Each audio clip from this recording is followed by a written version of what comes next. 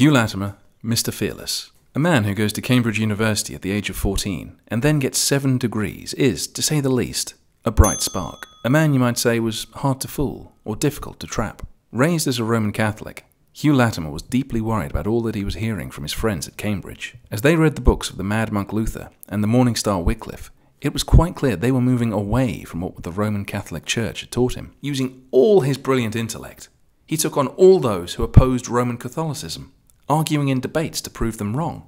Would anyone be able to stop this brilliant man? Well, the answer is, thankfully, yes.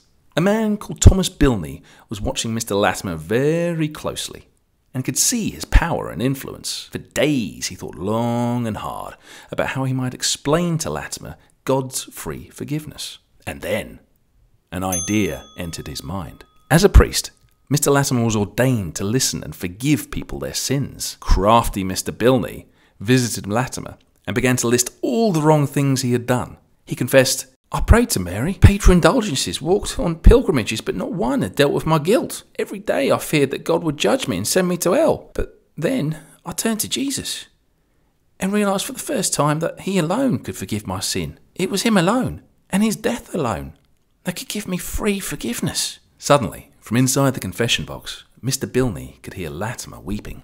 Just like Bilney, Latimer had realised God's forgiveness was a gift to be accepted and not a thing to earn. Everywhere Latimer went, he preached a message of free forgiveness. And everywhere Latimer went, he got into big trouble with the Roman Catholic Church. So much so, Bishop Gardiner chucked him out as a heretic. Was that the end of his influence? Not quite.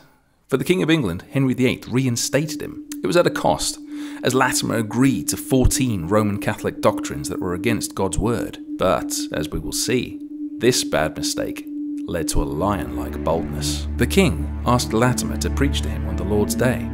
First, he presented him with a Bible open at Hebrews chapter 13, verse 4. And then he preached his sermon, refusing to hold back on preaching against Henry's adultery. Marriage should be honoured by all, and the marriage bed kept pure for God shall judge the adulterer and all the sexually immoral. So angry was Henry that he stormed down to Latimer and declared, Next Sunday you will return, and I demand that you take back all that you have said. Would he bottle it and preach what the king wanted to hear? Or would he be brave like John the Baptist and call the king to repentance? Everyone in the palace was talking about Latimer and what he would preach. The big day finally arrived, and slowly Latimer climbed the steps of the pulpit to deliver his sermon. Hugh Latimer, do you know who you are speaking to today? You are speaking to the high and mighty monarch, the king's most excellent majesty, who could take away thy life if you offend him in any way. So take care as to not displease him. Had he bottled it? Had the adulterous king won the day? Latimer continued. But consider now, Hugh, who sent you and whose message you bring. The great and mighty God. He is the one who sent you and whose presence now we all stand in. And he has the power to send you to hell. Therefore, you take care to deliver the message that I preached last week. Marriage should be honored by all and the marriage bed kept pure. For God shall judge the adulterer and all the sexually immoral.